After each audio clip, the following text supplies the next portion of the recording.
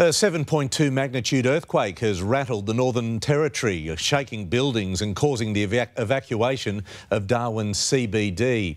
Residents have reported cracks appearing in their homes, and experts say it may not be over yet, with aftershocks still possible.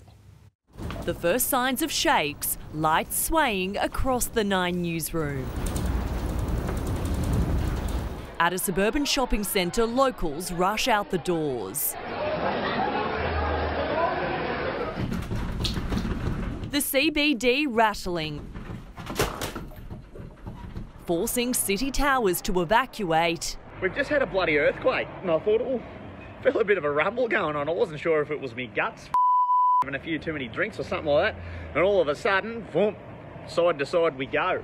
Earthquakes here aren't unusual, but this caught locals off guard.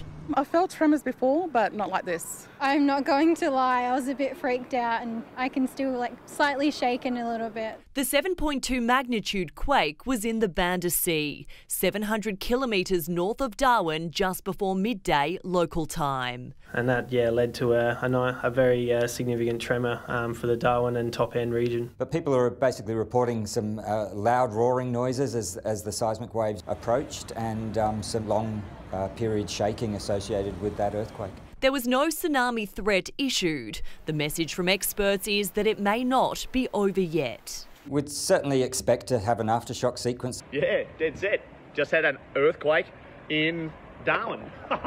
you! Zara James, 9 News.